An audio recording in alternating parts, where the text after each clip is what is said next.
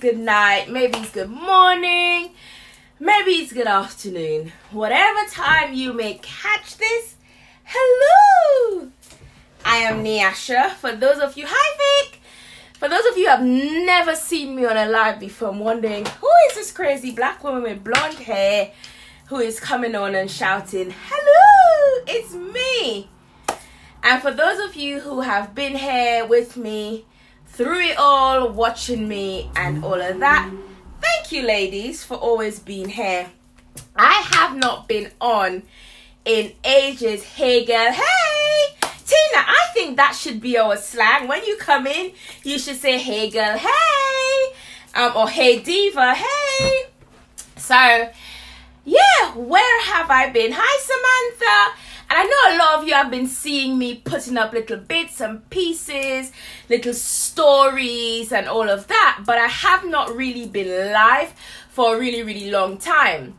And this evening, I'm going to talk about passion and purpose and profit. Passion plus purpose equal profit. And I want to talk about that because something scary, not scary, but something aligned. Some things aligned um, in the last couple days um, to do with my daughter or my daughters. But before we get into all of that, where have I been? Well, I have been away. I have been, my month of June was a month of celebration. Well, to back up a bit, I have had, and you know, lot, lot, know, I come on here and I I'm very transparent and I I try to keep you in the loop. Hi, Stefan. Hi, Keisha. I try to keep you in the loop with what is going on. Could you please put a one in the comment if you can hear me, if you can see me, and all of that. Um, so I know that you are hearing me and seeing me. Um, so in the month of April, May, in the month of May, what happened? A lot of you know I had a hysterectomy last year. And six months later, the wound where that happened, where they had that done, hi man, um, where I had that done, that opened. That just decided one day I was here minding my own business and it just opened. And that hit me for six. If I'm on, if I'm being totally transparent. Hi Marsha, hi Lee. Totally, hi Stefan, transparent and honest Hi, Andrea. That hit me for six because it was six months later, and then the scar opened a few inches, and I had to go and get that looked at. And it was just something that I did not expect to happen because I'm diabetic and all of that. That just took so long to heal. So that happened. It knocked me for six. I didn't do any live. I had a little pity party, you know, just thinking, you know what, I can't do this ish anymore. You know, I can't do this anymore and stuff like that. Hi, hi, Portia. So I went through that and it took a lot for me to dig deep because what happened was the month of June was a month of celebration for my family. My mother, my birth mother, had a big birthday, and my auntie, who raised me practically and raised my eldest daughter, Krista, she also had a big birthday. And I was trying really, really hard to be able to celebrate with them both because I'm of the opinion right now, I don't know about you, like British or um, American or whatever, but in the Caribbean, when people die, we tend to celebrate them. We tend to buy the most flowers, buy the biggest casket. Those of us who live abroad, we fly down and we have this massive funeral, happy hour, and all of that. And I have gotten to a point in my life where my light would change because the sun is setting, so it's right there. I got to, so I'm going to go like this a bit. I got to a point in my life where I felt, you know what? I didn't want to do that. I wanted to celebrate these women in my life right now. So if you've been watching, you'd realize that at some point I said, I have these secret trips. I have these secret trips. And even though neither my mom or my aunt is really or my aunt is on Facebook, but she doesn't go on a lot. But my mom's not on Facebook. Some nosy person would have said, Oh, she said that she's coming, or she said she's doing this. So I didn't talk about it. But in the month of June, I spent more days out of England than I did in England because I went to see my mom and surprised her for her birthday. Came back for two days and then I went to see my auntie. and I went to surprise her for her big birthday. So that is where my June was. And to me, it was important to take time off for family. It was important to have that time to celebrate with those who brought me up and those who were very influential in being, in me being the okay woman that I am today. So I took time and I did I did that with my auntie and with my mom. So I had a fantastic month of June. I saw a lot of my friends. There are some of my friends who I did not see because it was all about family. And I said to my aunt, this is the best holiday I've had in Grenada ever since I've been living in this country. God, 20 going on 20 years, 17, 18, how many ever years it is and um going back because I didn't go to any party. Hi Roslyn, yeah man, family first. I didn't go to any parties. I didn't go to any fete. The only party like I went over to my auntie twice. Then we did a family day on the beach. So these are the photos you would see that I've been posting. Whereas normally when I go to Grenada or America, you see me post party pictures and raving with my friends and all of that. And to my friends that I did not see while I was there, it was a very conscious effort after the year I've had health wise and the fact that my auntie's getting older, my mom's getting older, it was a very conscious effort taken by me to spend time like with them. Like instead of me being out and about when my aunt came from work. Uh, yes, I had my coconut ice cream, which another auntie of mine make, Auntie Dawn. So instead of me being like out when my auntie came from work, I was in. So we can sit down and we can chat and we can look at telly and health wise i was very very fatigued so i used that time to rest so that is what that is where i've been for the last month i use the time to rest i use that time to also do a lot of stuff in the background in terms of where am I taking my career? Where am I taking myself as a speaker and a motivator and a woman empowerment coach and a makeup artist and a business owner? So there's a lot of stuff coming from tomorrow i start announcing stuff that i'm be doing courses brunches in different countries brunch on purpose is going on tour and hi mandy and i'll be doing all that. But today i want to talk about passion and purpose and being aligned. And a lot of you may have seen i posted a picture but you know with my krista my krista she went she was in grenada with me as well um, for my auntie's surprise. And while we were there she was diligently studying and studying because she has been studying to become a doula. And if you don't know what a doula is, you can look it up.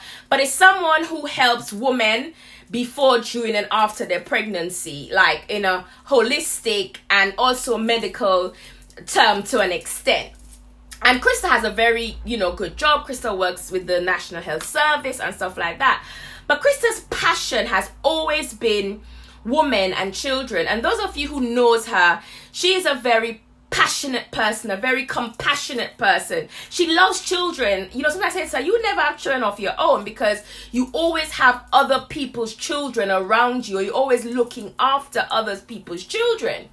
So she, while she was in Grenada, she was studying, and then she came back and she went straight into classes for becoming a doula.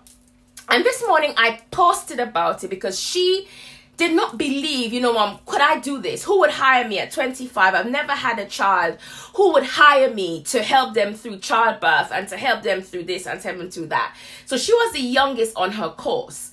I just said to her, listen, you want to do it, pay your money and go. She had to pay a good amount of money. Hi, Sarah, to do this program. And she, she went and she did it. And I posted about it this morning because I am proud of her. I am proud that she took that step and I have nothing against the corporate world whatsoever.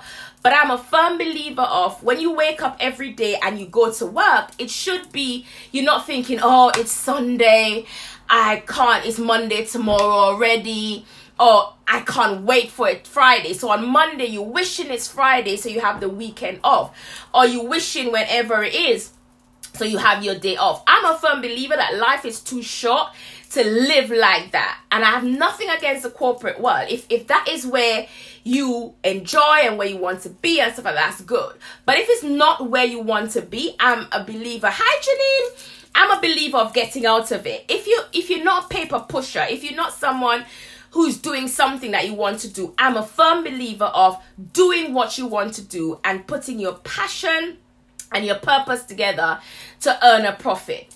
So, and when what I want to say today, and why I came on today, um, and not tomorrow, as I was planning to do my comeback tomorrow, um, is Krista did that, and I posted about it this morning because I'm proud of her. I'm extremely proud of her. I'm proud of both my girls because my girls are my reason for living, my reason for getting up every day. Because this may sound big headed, but the only person, hi Sharonda, to me, I want to be my children's hero. I my girls should look up to me and say, "This is how I want to be. This is the mistakes I don't want to make. This is what, you know, I aspire." You know, yes, there are other people who are greater than me, but my children should look to me. So I'm super proud of her. I'm also super proud of my Alicia who graduated from sixth form. So I posted about Krista this morning.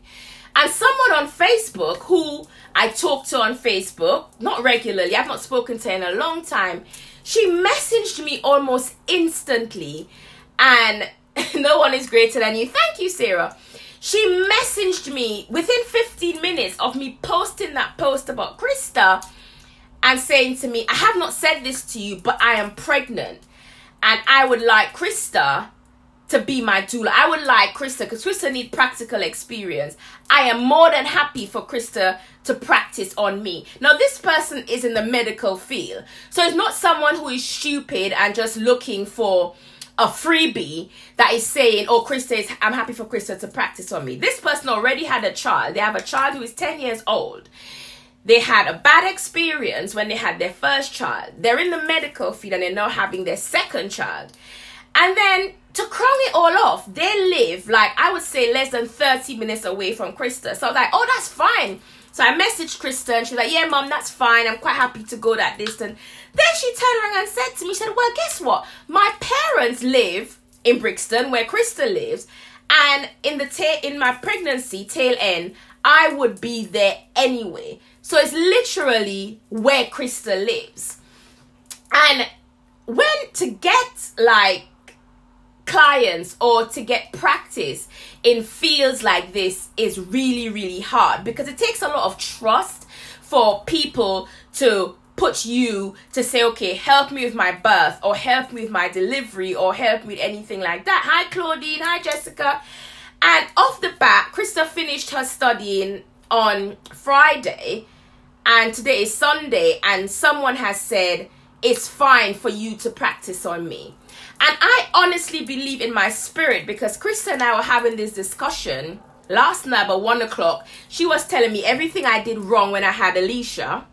Example, combing my boob with a comb to get the milk cut. Mom, you're not meant to do that. But I did it anyway. So we were having all this discussion and we was I was saying she was saying, Oh mom, you know what? I'm I'm worried about getting the practical experience and about getting all of that. And I honestly believe in my spirit, in everything that is my being, that this is passion and purpose aligning to make profit. That Krista took the step to, to do what she did was like a step because she's thinking of eventually leaving her corporate job and doing this full time. So for her to get, like in all her group, for her to get someone who is saying, here's my telephone number. Phone me. Let's meet up. You know you can practice on me and all of that. Is just beyond what she believed could have happened to the point where when i phoned her and said oh this is what's just happened she was out shopping and she started to cry. We both started to cry. And that's why i wanted to come on and talk about that. Sometimes you have to take that leap in life you know, you would think, okay, and I'm not saying to anybody to leave your job where your bread and butter is paying. Don't say that I said that. Leave your job where your bread and butter is paying you and just jump and do because that is not what Krista is doing. She's gonna do them alongside each other. And then when one, you know, is when, when her being her being a doula and her being self-employed is enough to to, to pay for her live her living and her lifestyle, then she would make that jump. But the fact that she took the time, she invested in herself, doing the course she's doing wasn't cheap.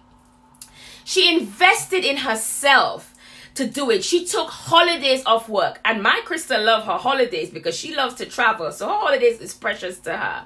While we were in Grenada, she was there every day. One day I was going out to town on the beach or something. Mom, I'm not going. I need to finish this. I need to submit it. So she took that time. And I just wanted to come on and say to you that if you are sitting there and you're looking for a sign, me coming here might be the sign because right now I'm hot and sweaty. I'm going through a bit of a hot flush, and the last thing I want to do is to be sitting here. But it's just been laid on my spirit to come and say to you there may be something that you want to do. You may have a passion. You may think something is your purpose, but you don't know how to make it into a profit. You don't know how to turn it into a business. Don't be afraid. And half of the time, it's fair. It's fair that it wouldn't work. It's fair that who would trust me? I sit here and I think all the time, who would trust me to hire me as a coach? Who would trust me? When people come into my inbox. It's fair half the time that you cannot make this work. We as black women, and I talk to mainly black women on here, we were raised off to have a proper job a job as an accountant, a lawyer, a doctor in an office, a nurse, or something like that. Listen, we are in 2000 and what are we 2019, the second half of 2019. There is no such thing as a proper job. I don't believe there's anything. All jobs are proper. What my Krista is going to do would help women.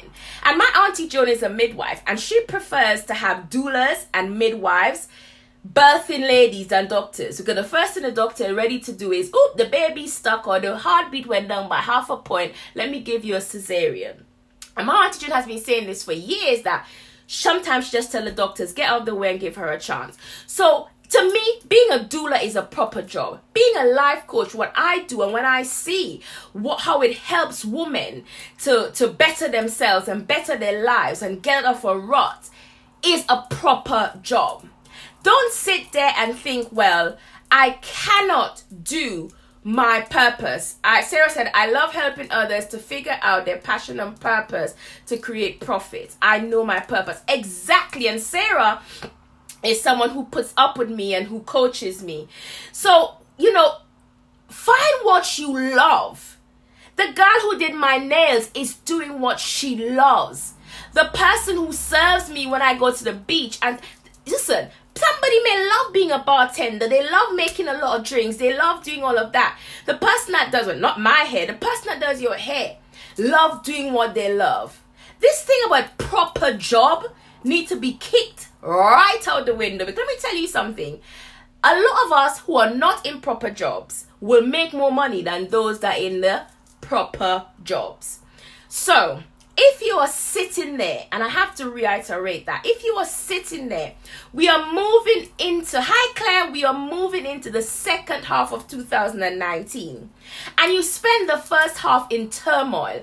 You spent it going into a job that you hate. You spent it dreading Monday and wasting your life all week looking towards Fridays. Sit down and try to find your purpose, your passion. And it may take a while. You may dibble and dabble in different things, but they're not failures, they're not mistakes, they're life lessons. Let me tell you something. I've done cake making, I've done jewelry making, I was an accountant for a long time, I did a law degree. You know, it may take you a while to I had a crochet business where I crocheted lots of things for babies and, and, and for a while I did that. It may take you a while. It may take you different stints. And there is no there's no qualms. There's nothing wrong with thinking, you know what, this is my purpose. And then you start to do it and realize, you know what, it may be a passion, but it's not a purpose, so it would not turn into profit. Eventually, the three would line up. The passion I can only talk about me. I am passionate about seeing women overcoming adversity and being great mothers and wives and girlfriends and employees and employers and women of society. That's my passion. My passion is seeing people succeed. My passion, I believe, is also my purpose. Why do I believe it is my purpose? I believe it is my purpose because I have been through certain things in my life that I believe has prepared prepared me to be sitting right here right now. And how would it make profit? It would make profit because I believe that if women want my services, they need to pay for it. When you pay for it, you value it more. Hi, Bernadette. When you pay for it, you value it more. So, today maybe i came on here for you or you any one of the 17 of you that are on here or whoever would watch it on the replay to say to you start looking and you're never too old. Start looking for your purpose Know what you are passionate about. Know what you wake up every morning and what sets your soul on fire. Know what would help you. You know, when you get up in the morning, you don't need an alarm because you're going to work and you're going to work enjoying what you do. Know that. And then seek out the right people, the right information. Know the steps that you need to turn your purpose and your passion into a profit. Life is way too short to get up every day and don't like what you're doing.